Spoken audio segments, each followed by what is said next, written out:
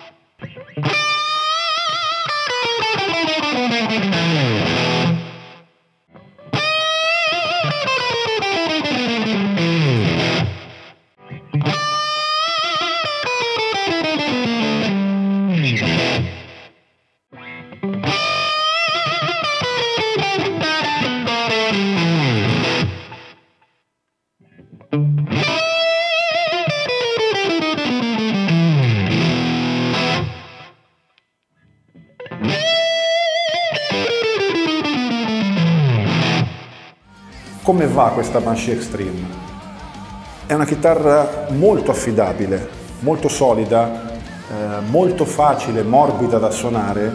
Personalmente ritengo che mai come in questo caso eh, il nome Extreme sia stato indovinato. Questa è veramente una chitarra estrema, estrema nel look, estrema nella comodità di utilizzo, estrema nella varietà di suoni che vengono offerti. Eh, l'unica cosa in cui non è estrema è il prezzo a cui viene proposta.